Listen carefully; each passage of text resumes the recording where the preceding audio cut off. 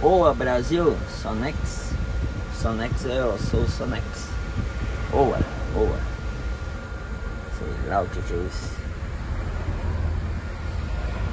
Tem aqui para carregar o carro.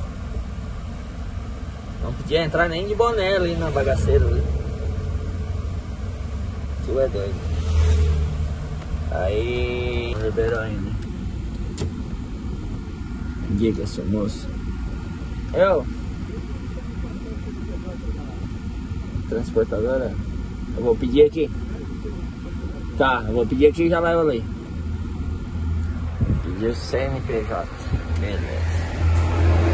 Então eu vou pedir, né? Me fizeram uma pergunta lá sobre os valores dos fretes. Como é que estão? O que que sobra para ir em São Paulo e voltar? O que que não sobra? Se vale a pena, se não vale? Então vamos pegar uma caneta, laranja mesmo, porque não tem azul, eu acho. Agora uma folha. Vamos fazer uma, uma continha básica aqui. Tá aqui, ó. Tá. Frete. Minha letra não é muito bonita. Para subir com a madeira para São Paulo, agora eles estão pagando 2,300. Isso eu carreguei sábado para segunda. E daí nessa carga eu voltei com frete de 1.200. Tá. Total deu 3.500 de frete para ir voltar. Daí vamos botar aqui, ó. Diesel, comissão, pedágio. Tá. Agora eu vou precisar do celular para fazer as contas. Já volto. Com o meu com a minha a minha conta. Aí ó, fiz as minhas contas, levaram em questão, falar de valor de frete, subiu um pouquinho os valores. O frete da madeira eu sei que foi para 2.300, estava 1.900, foi para 2.300.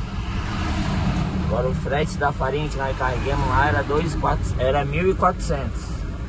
Eu não sei para quanto que subiu. Eu fiz o acerto semana passada e eu nem vi quanto que subiu, mas creio eu que não subiu muita coisa.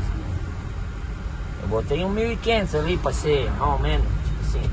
Ah, digamos assim que tenha subido com 1.800, que acho muito difícil. Acho muito difícil. Mas digamos que tenha subido com 1.800.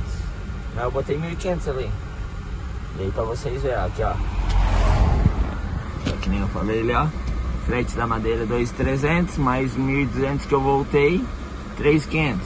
Daí o diesel, pra ser pouco, o cara gasta 280. Mas com madeira, geralmente o cara gasta um, um 300, 320 litros. Eu botei 280, que é o tipo que o cara gasta com farinha, né? Digamos assim, carregado de farinha. Dá 1.680 reais de diesel. A 6 pila eu botei, não sei quanto é que tá o, o diesel. Daí de comissão, minha comissão. O valor do frete dividido por vezes 15% dá 525 pedágio de ida e volta, só da Regis eu botei, sem do Rodoanel, sem nada, só o da Regis da, da 108 pila, ida e volta. Aí tem o do Rodoanel que vai dar mais um, mais um 20 pila, tá 130 pila, digamos assim, mas eu botei só o da Regis. Ó, dei total de despesa com diesel, minha comissão e pedágio deu 2,313. Dei menos o valor do frete, essa sobrou 1.187. 1187, mas subindo com a madeira, que a madeira o frete é melhor. 2.300 estão pagando. E agora olha o frete do tipo uma carga da Belarina, que eu botei 1.500 que fosse, eu botei um valor de 1.200, que é uma carga tipo assim, é uma carga que o cara carrega boa de São Paulo para Curitiba é um 1.200, sim, para ser bastante. 1.100, 1.200. Aí o valor, o diesel eu botei o mesmo, 1.680 kg de diesel, 280 litros. A comissão diminuiu um pouquinho por causa do valor do frete, 405 pila. De pedágio, e ó, daí de despesa, deu os 2,193. Aí o frete 2,700, ó, sobrou 500 pila, digamos assim. Então, o cara nunca pode se basear, tipo, uma viagem pela outra. Ó, a viagem com a madeira deu boa, sobrou 1127. Agora vamos botar assim, uma viagem que eu carreguei farinha, deu 500 pila de lucro pro caminhão. E tipo, a farinha nós carregamos toda semana, tipo, Ó, eu carreguei madeira domingo, daí ontem eu carreguei a farinha para subir. Aí eu, creio eu que amanhã eu carrego farinha para subir de novo. Daí digamos assim, ó, amanhã eu vou subir com farinha. Eu vou fazer três viagens na semana. Ó, vai dar dois, dois mil, dá um dois quinhentos de lucro por semana, o caminhão passa bastante, tá ligado? Passa bastante. E o cara tem que fazer três na semana. Três na semana. Se o cara fazer duas, já vai dar só 1.500 pila. Digamos assim. Então é muito pouco. É muito pouco para um caminhão. Que o cara estoura um pneu, estoura um pneu é, é 3 contos o pneu, 2.800 o pneu. Estoura um, um motor, o cara fazer um motor é 30 mil mais 20 dias parado, um mês parado, tá ligado? E é muito gasto para pouco retorno. Então o caminhão é um troço que não, não vale muito a pena. Olha, dá elas por elas. Aqui, ó, eu quase empatei no ganho com o caminhão já.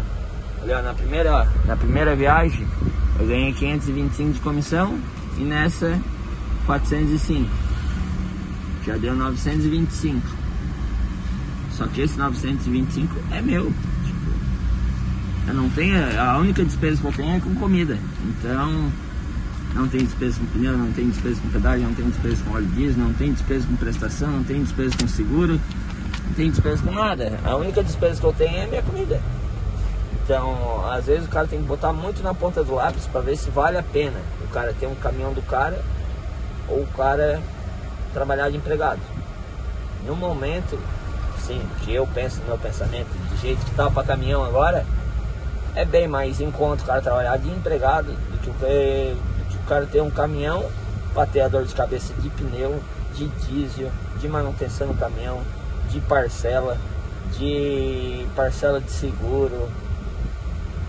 Olha, é bem mais o cara trabalhar de empregadinho do que o cara ter o caminhão do cara. Ah, mas vai ser teu e não sei o que, vai ser meu, eu sei, é um, é um sonho do cara, é o meu sonho ter um caminhão, quem é que não sabe? Só que agora no momento não tá, não é o. Não é a hora para se ter um caminhão, porque tá complicado. Do jeito que tá os fretes aí, ó, ali saquinho. Do jeito que tá os fretes não dá. Do jeito que tá os fretes, do jeito que tá óleo diesel, do jeito que tá preço tudo caro, não dá para querer. Então, isso aqui é uma, tipo, é mais ou menos o que sobra de um caminhão, tipo, numa viagem, mais ou menos. Isso que aqui eu não botei, tipo, não teve nada de despesa. Teve a despesa, ó, tipo, teve despesa de cardan semana passada, teve despesa de, de pneu, teve despesa de que eu arrumei o cano, escape ali, que tava quebrado aqui. Tipo, não botei nada dessas despesinhas, botei o que sobrou. Mas ó, no Cardan já foi quase dois mil real. Tá ligado? É, ó, dois mil real, ó. Duas viagens foi pra arrumar o Cardan no caso, digamos assim. Cara tem que fazer duas viagens na semana pra fazer uma manutenção no caminhão. Então o caminhão não te dá um retorno assim, cara. Que o povo pensa que dá. Não é assim. É bem complicado.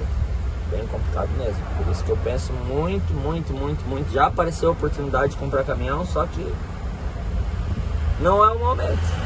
A hora que as coisas der uma melhorada, talvez eu meta a cara no caminhão, porque eu não quero comprar um caminhão para dizer que eu tenho um caminhão e tipo, mo, tipo trabalhar aqui, ó, no último assim, tipo, ah, com a cabeça quente procurando carga e pagando conta e coisa arada, eu prefiro trabalhar na minha do que ter um caminhão e ter essas preocupações, só para dizer que eu tenho um caminhão. Então, não tem futuro. Não agora. Não que eu não, não, que eu não vá ter um caminhão, né? Meu sonho é ter um caminhãozinho. Deus livre. É o sonho do cara, né? Tipo, eu tô trabalhando para isso, para ter meu caminhão. Mas eu não vou me abafar. Lá, vou lá e dou, um, digamos, uns 50 mil de entrada e financiar o resto. Pagar uma prestação de 3 contos por mês.